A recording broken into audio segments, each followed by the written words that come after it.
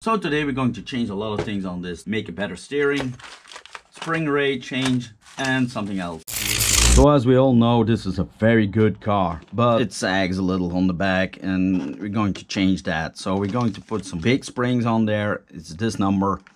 These are for the back, the 6.2, and these are for the front. Pretty easy to change these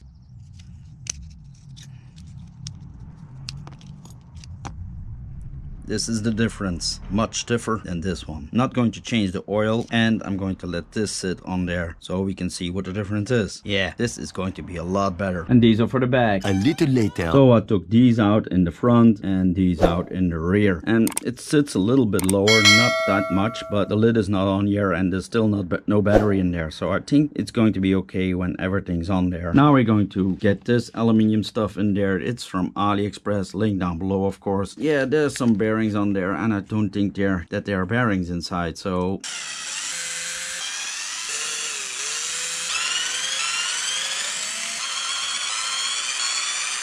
So normally I can get this thing out now like that. And yes, there are bearings inside. This looks a lot better and I think it's going to steer a lot better too. So we're going to get this instead of this. These things you can replace them too if they are worn out. But first we're going to do this and afterwards maybe when they are worn out I'm going to replace these. Look how nice and shiny these things are. There's a little catch on this thing here and I'll show you in a minute. The difference is they're a lot sturdier and you have to thread lock this. Don't forget that. Even the balls are not from plastic. This is the way.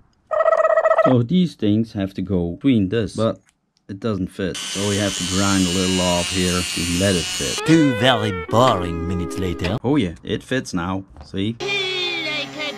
When you mount this up, put the copper bushing the top like this. Otherwise, this thing, the top here, is going to touch the center drive shaft. So don't turn your screws too hard. Let them sit a little loose because you did thread lock on there. So when it's cured, this movement has to be like that. Otherwise, you're going to squish it and there's no movement. So and you push this down it's clearing everything. I'm gonna put screw in here then I'm gonna put the drive shaft in there so we can see if it touches or not. And it doesn't touch anything. When you have to replace this it's easier to take the whole lot out. So I clean the screws. Like that. Replace this thing here. It's the same length so we don't have to recalibrate the servo side to side. It's plastic, so you don't have to put any Loctite on there. Get some debris out of there. Rocks. Mount everything back up. So this is replaced. Now we need this screw to get in there. And yes, we need to do some Loctite on there. This is the way.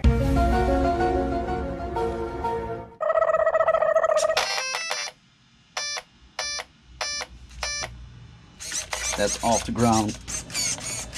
And that's on the ground. Steering is more direct.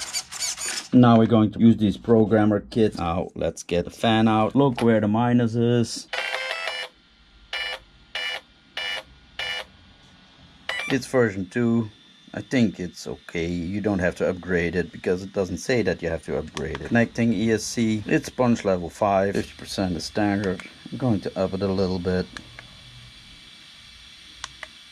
running mode forward reverse brake motor rotate is okay. BEC voltage 6 volt we're going to change that. So we're going to edit that to 7.4 then you push save. Now we have more 7.4 on the servo. Don't forget to put your fan back on. And now for the last modification it's not about the car it's about the body. These things over here yeah they tend to rip. I'm going to put this on the sides here like that see? I'm going to put some glue in there and then mount it up like this. Man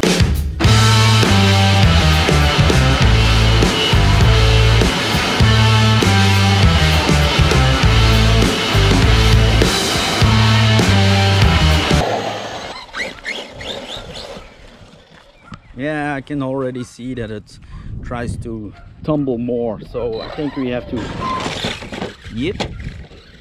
We definitely need to get some spacers out. It drives great man. Drives a lot better but like I already said the spacers maybe one more or one up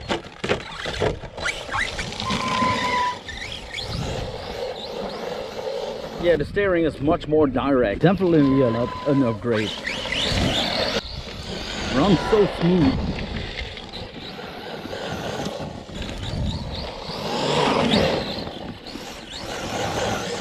It soaks up all the bumps. Yeah.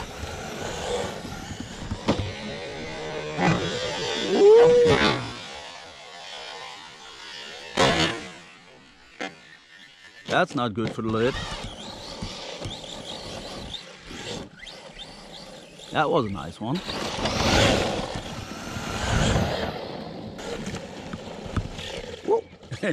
Barrel roll.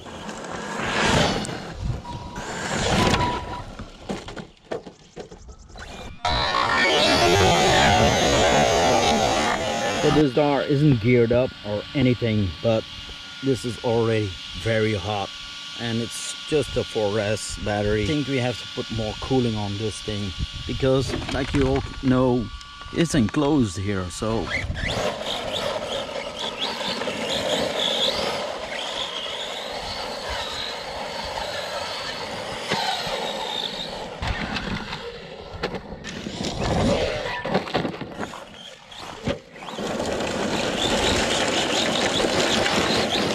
Yeah, and guys, I don't drive with AVC. I never did, I never will.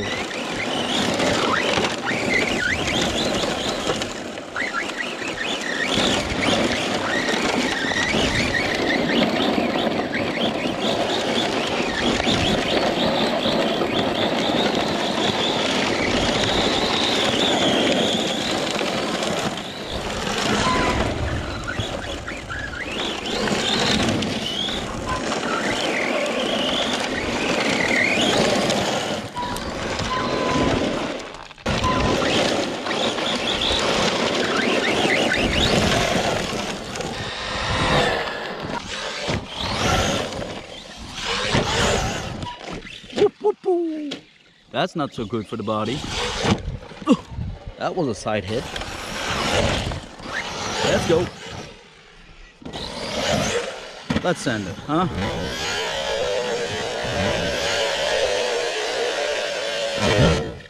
That was a nice one.